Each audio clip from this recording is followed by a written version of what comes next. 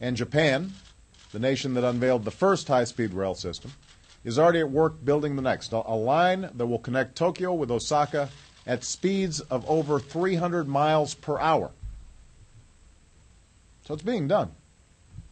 It's just not being done here. There's no reason why we can't do this.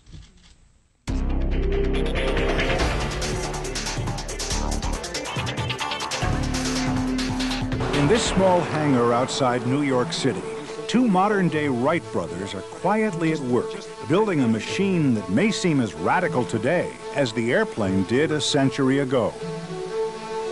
Gordon Danby and James Powell, retired scientists from Brookhaven National Laboratory, are finally creating what they have always dreamed of, a machine with no moving parts and no engine that can travel at fantastic speeds.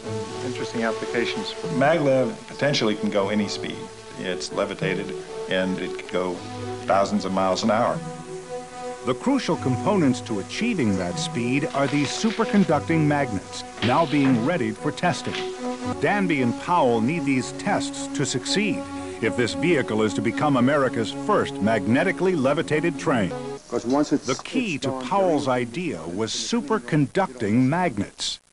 When a loop of superconducting material is cooled to a very low temperature, an induced electric current circulates endlessly, creating a powerful magnet. It can run for months on a single charge. And another thing Powell knew he had the power to lift the train. He brought his idea to Danby, and together they conceived maglev. And then Gordon came up with the idea of inductive loops of aluminum in the guideway. And so we were off and running. In 1969, Powell and Danby received the first patent for a levitated train using superconducting magnets.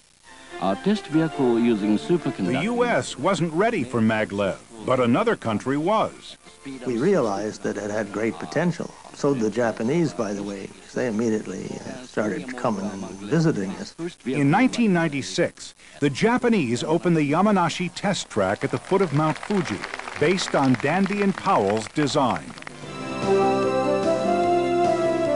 And now, see, Transportation is fundamental to our society. Maglev is inevitable. It will happen.